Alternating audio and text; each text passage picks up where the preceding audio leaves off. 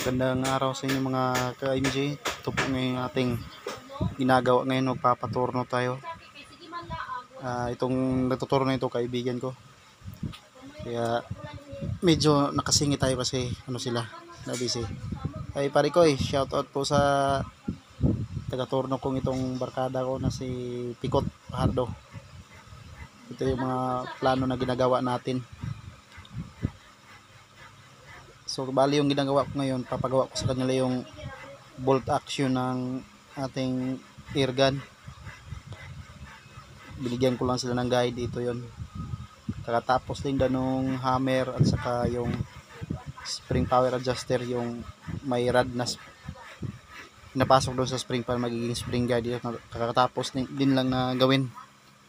So, madalang lang kasi ako nakadalaw dito kasi busy sila.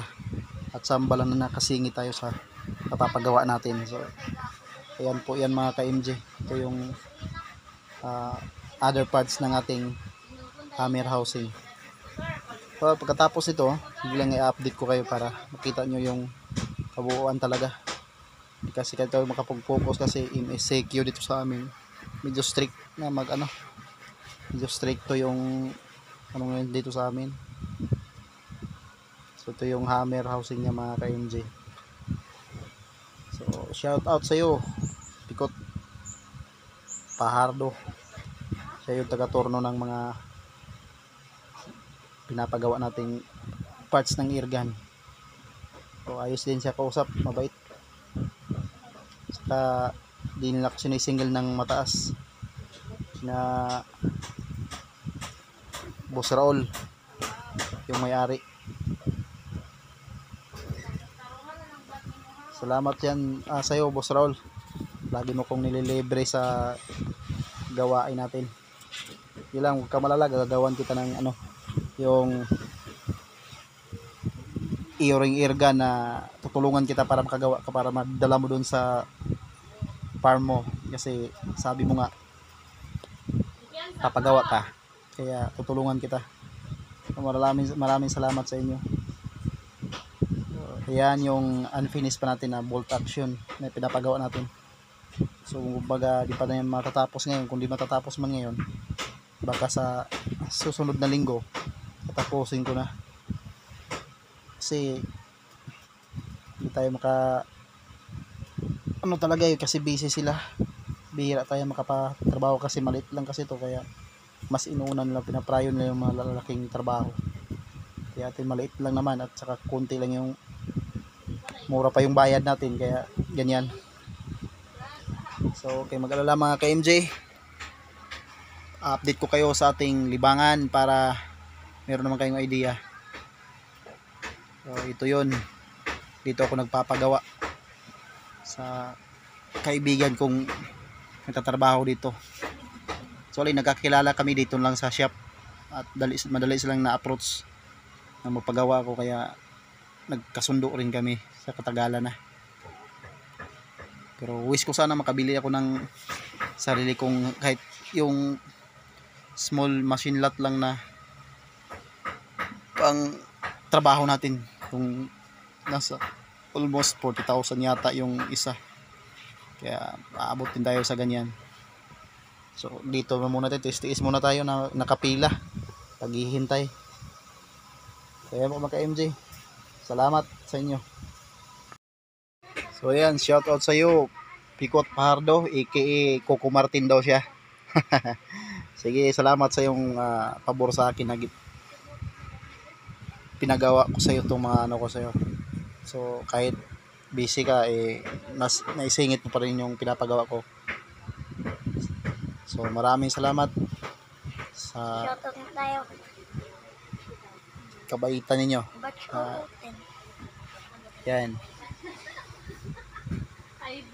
Kaya mag-alala. Napakita ko rin sa inyo itong mga ginagawa natin.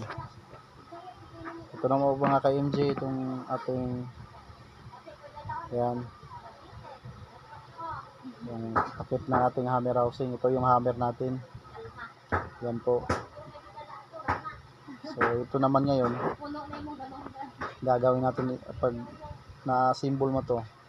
So actually naka-traded yung spring power adjuster natin. Nagsilbi rin siyang spring guide sa hammer para yung spring natin ay hindi babaluktot. So hindi siya babaluktot sa tuwing hihilain siya nung bolt action. Yan, may nagyan ko siya ng slotting para iikutin mo na ng, ng slot screw pag sa tuwing a-adjustan mo yung spring mo.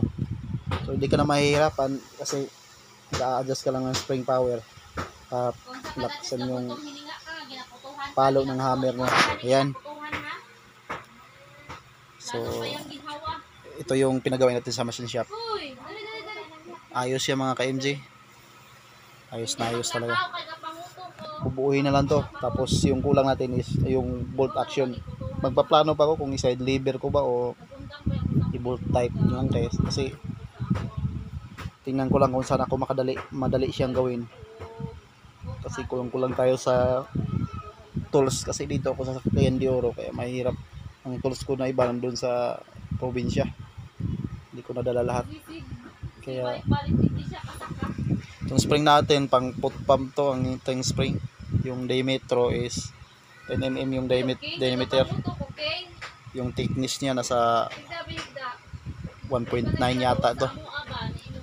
Ko na nasukat. Pero makapal to kasi pang put pump talaga ito na ano, spring. So yan, yan ang ating pinagawa sa machine shop mga ka-MJ. At abangan nyo lang kasi bubuuhin natin to. Sa kapag mabuo ko na, papakita ko sa inyo kung paano ko binuo. At saka yung hindi naman nakaka, di pa nakakaalam, may magkaroon din ng idea. At makunan nyo rin ng idadagdag nyo sa inyong ginagawa, yung ginawa ko rin. So yan mga, yung bolt housing, preparasyon yan kasi mag-grinder tayo dyan para sa daanan ng bolt na nakatray doon sa hammer para magsilbing nakaangat doon sa naka ano naka lock doon sa trigger natin. Ayan. Ayan yung preparasyon natin yan kasi matigas tong pork chop kaya pinadrill press ko na lang yun to mga butas. To preparasyon lang yan para lagyan natin ng allen screw para sa bolt type. At saka sa sear. Yung yung humahawak dun sa sear ng ating trigger. Ng ating hammer. Kaya grinder pa natin yan. So ito lang muna sa ngayon mga ka-MJ kasi busy ako baka sa, sa susunod na linggo tatapos ko rin tong paggawa at saka start na akong magbuo nito so okay magalala kasi ipapakita ko rin yung kabuuan ayan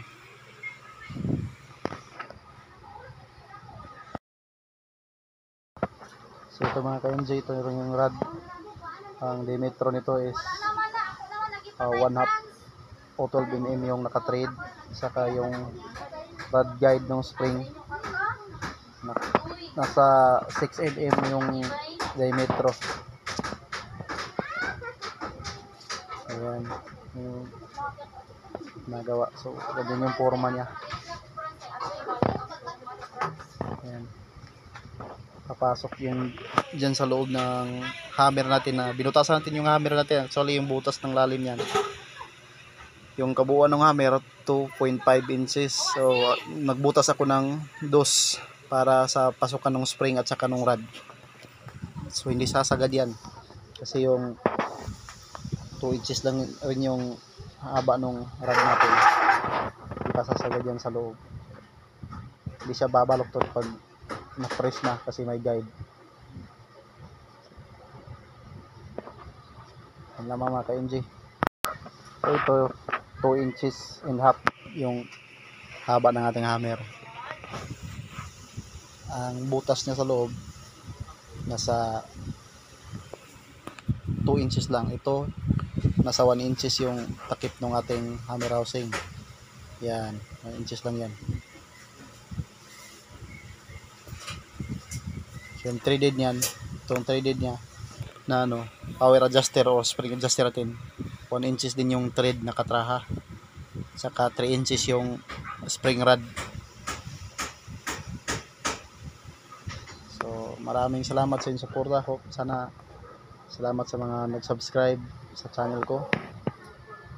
Hope na nakatulong to sa inyo na guide para sa gustong gumawa ng sarili nating libangan ng irgan mga ka AG, mga ka MG. Sana nakatulong din itong idea natin na ginawa. May dagdag din sa idea, idea ninyo. Ayun no, na marami din kayong alam. Ito rin yung alam ko na ginagawa ko sa aking DIY na airgun. So, dagdag nyo lang sa idea, no? Alam kong marurunong din kayo na gumawa. Kaya, sana, salamat sa suporta sa mga subscriber ko at sa nag-chat dun sa messenger ko. Mga idol, maraming salamat. Ito na ito yung pasiunang video ng ating hammer housing at saka hammer uh, hammer ating ah, slingshot para sa ating trigger. Yan itong kabubuo ito na yung kabuuan niya. So sana masundan niyo yung nagtatanong sa Facebook ko. Ah, Mag-chat lang kayo sa akin doon sa aking messenger. At sasagutin ko rin mga kayo sa basis lang sa aking nalalaman. So kanya-kanya tayo ng idea. I hope na mapulutan ninyo ito ng ah, idea rin na idadagdag din nyo sa inyong mga ah, ginagawang liban. Maraming salamat. Yan lang po. God bless ating lahat. Ingat po tayo lahat palagi.